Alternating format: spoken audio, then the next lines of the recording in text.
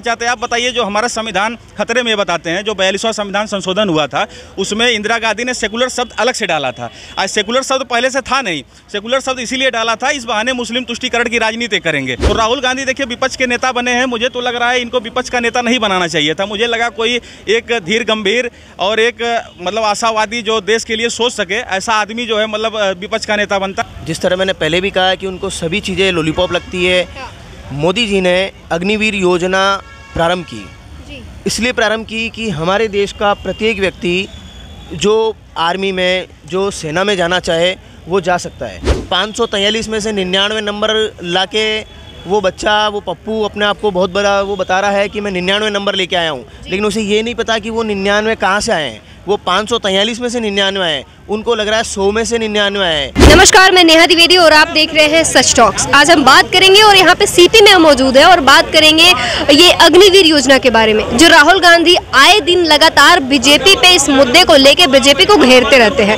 और कहीं ना कहीं वो ये दिखाने की कोशिश करते हैं, हालाँकि उनके कई बार भाषण में ये सुना भी गया है कि वो अग्निवीर योजना को युवाओं के लिए लॉलीपॉप कहते हैं। आइए लोगों से बात करते हैं और देखते हैं इनका क्या कहना है, क्या सच में अग्निवीर योजना लॉलीपॉप है। क्या नाम हुआ आपका? दीपक शर्मा।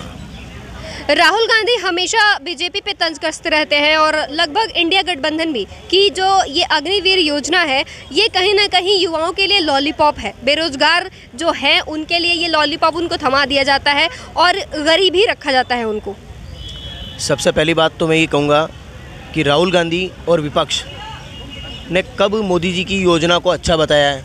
कौन सी ऐसी योजना है जो राहुल गांधी और विपक्ष को अच्छी लगी है मोदी जी की। वो सदैव मोदी जी की योजनाओं को गलत ही बताते हैं और भ्रामक भ्रांतियाँ फैलाते रहते हैं।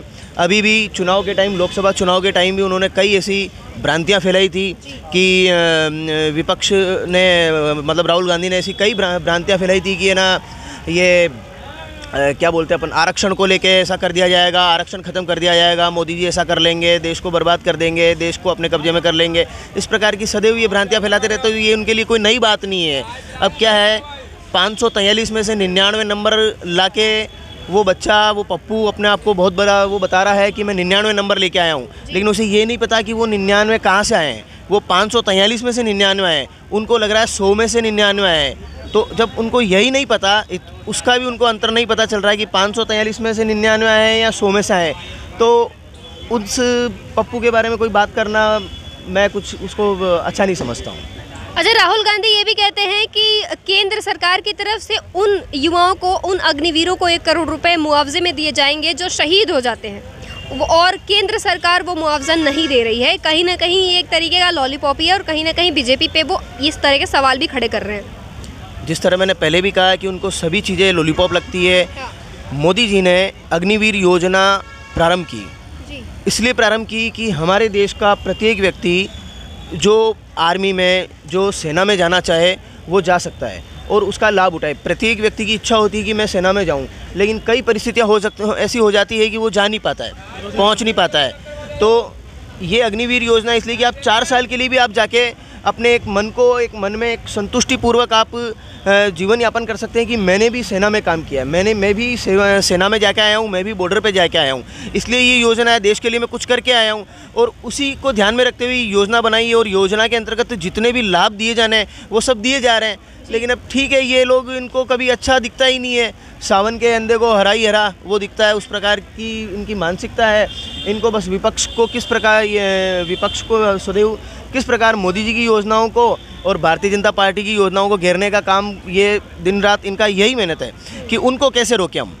और इसी के ऊपर ये प्रयास करते हैं उनको कैसे रोकें? हम कैसे आगे बढ़े? कभी उन्होंने ये नहीं सोचा। अगर ये सोचते तो क्या पता निन्यानवे से एक सौ निन्यानवे भी हो जाते ये। लेकिन इन्होंने कभी ऐसा सोचा ही नहीं। उन्होंने सदैव बस कि उनको कैसे उनकी लकीर को हम मोदी जी की लकीर को भाजपा की लकीर को हम कैसे काटें कैसे कम करें? उन्होंने कभी अपनी लकीर को आगे बढ़ाना ही नहीं चाहा। इसलिए वो सदैव इस प्रकार की फैलाते हैं। एक मासूम बच्चा है पप्सा है वो छोटे पप्पू भैया हैं कुछ भी बोल देते हैं कोई ऐसी ज़्यादा उनको सीरियस लेने की आवश्यकता नहीं है। जी आ, आपके बगल में हम जाएँगे यहाँ पे बैठे हुए हैं। सर आपका नाम क्या हुआ? गोवर्धन सिंह रावत। राहुल गांधी कहते हैं कि अग्निवीरों के भविष्य के साथ खिलवाड़ किया जा रहा है उनको इस तरह से आर्मी में बैठा के। कोई खिलवाड़ नहीं किया जा रहा है। पप्पू पप्पू क्या पागल हो चुका है? हम्म। उसकी पार्टी के जो लोग हैं वो पागल हो चुके हैं। ठीक है ना? अग्निवीर योजना, जो मैं तो इसको बहुत अच्छी स्कीम मानता हूँ, इसके अंदर उल्टी बेरोजगारी खत्म हुई है। मोदी जी ने स्कीम लागू करके बहुत ही अच्छा काम किया, जो बेरोजगार घर बैठे थे, जो नौकरी से वंचित चल रहे थे, आज वो नौकरी पा रहे हैं चार चार साल भी काम कर रहे तो कर कर रहे हैं काम वो। और अभी मोदी जी ने और कुछ दस परसेंट का उनके लिए और आरक्षण के लिए स्कीम लगाई है। तो ऐसा कुछ नहीं है। विपक्ष यही चाहता है कि भाई के इसको कैसे कैसे गिराया जाए। बल्कि ऐसा कुछ नहीं है। अग्निवीर योजना बहुत अच्छी योजना है और इससे देश में बेरोजगारी खत्म हुई है। विपक्ष तो ये कह रहा है कि लॉलीपॉप थमा दिया जा रहा है युवाओं को और कुछ नहीं। कैसे लॉलीपॉप से थमा दिया जाए? पप्पू खुद एक लॉलीपॉप है। मैं कहता हूँ कि कांग्रेस पार्टी खुद एक लॉलीपॉप है। आज से सत्तर साल पहले किसकी पार्टी थी? दस साल हुए भाजपा को आए हुए। दस साल पहले दस साल से पहले सत्तर साल कांग्रेस ने राज किया। क्या उन्होंने कभी आज तक की कोई स्कीम बेरोजगार के लिए कोई स्कीम लागू की क्या?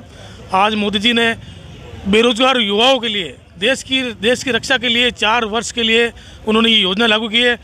मैं गौरवान्वित हूँ इस चीज़ के लिए कि एक मोदी जी, एक प्रधानमंत्री नहीं इस देश के लिए भगवान है, मैं ये मानता हूँ।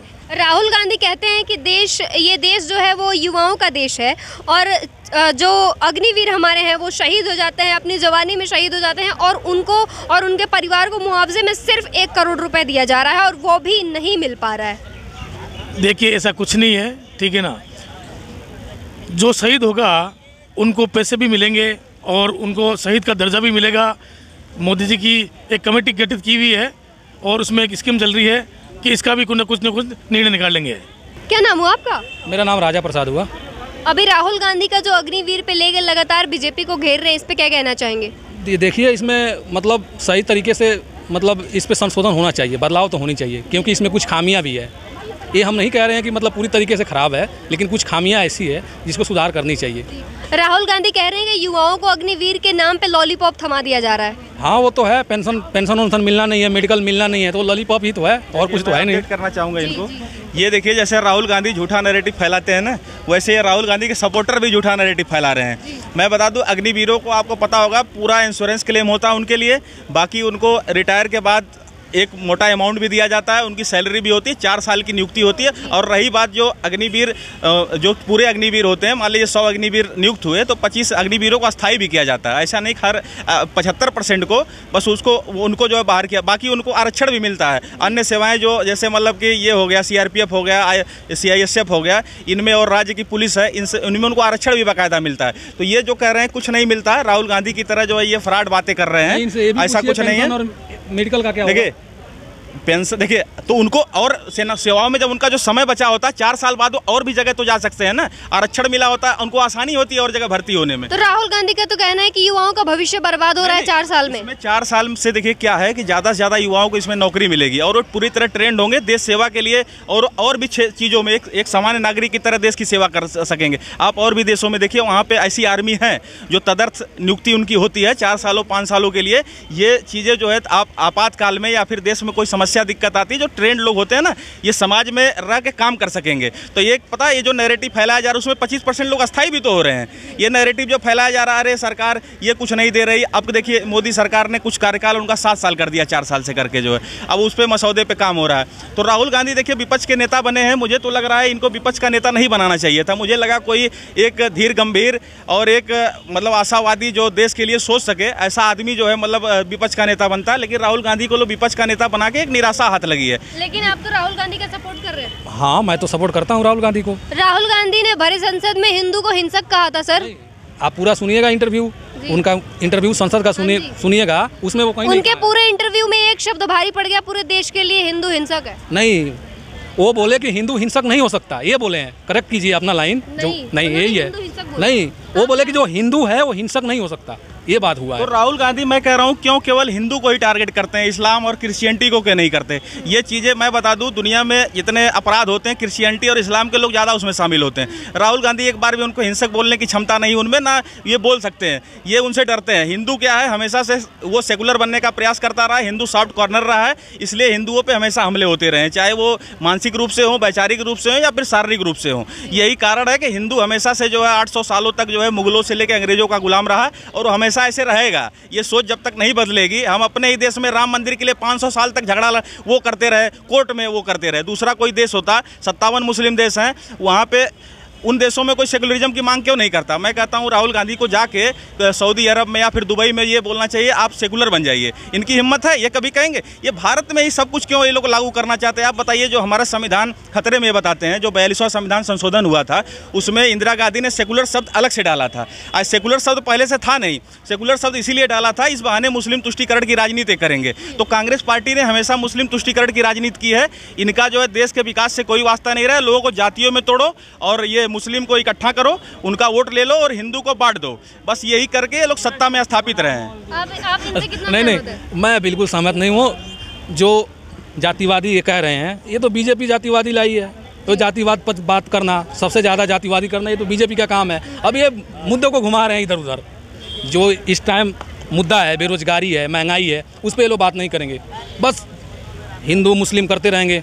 उससे क्या फ़ायदा होने वाला है? बेरोजगारी और महँगाई मुद्दा बेरोजगारी महँगाई मुद्दा हमेशा से रहा है। और मैं अभी दो तीन उदाहरण पेश करूँगा जो महँगाई पे एक सेकंड मैं महँगाई पे जो ये बात कर रहे थे 2004 में जब अटल बिहारी वाजपेयी प्रधानमंत्री पद से मुक्त हुए जब मनमोहन सिंह प्रधानमंत्री बने तो उस टाइम पे पेट्रोल का पेट्रोल का दाम चौंतीस रुपये था। और 2014 में जब जो है नरेंद्र मोदी जी प्रधानमंत्री बने तो उस टाइम पे पेट्रोल का दाम बहत्तर रुपये हुआ लगभग वृद्धि 220 परसेंट की हुई। और बताता हूँ।